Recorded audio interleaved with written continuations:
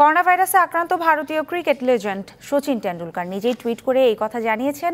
চিকিৎসকের পরামর্শে আপাতত বাড়িতেই আইসোলেশনে আছেন লিটল মাস্টার। টুইট বার্তায় তিনি লেখেন, নিজেকে করোনামুক্ত রাখতে সব রকম চেষ্টা করেছি, এখন করোনা আক্রান্ত আমি। কিছু উপসর্গ রয়েছে, বাড়ির বাকিদের করোনা রিপোর্ট নেগেটিভ এসেছে। চিকিৎসকদের পরামর্শ মেনে চলছি, সব স্বাস্থ্যকর্মীদের ধন্যবাদ। আমার পাশে থাকার জন্য সবাই সাবধানে থাকুন।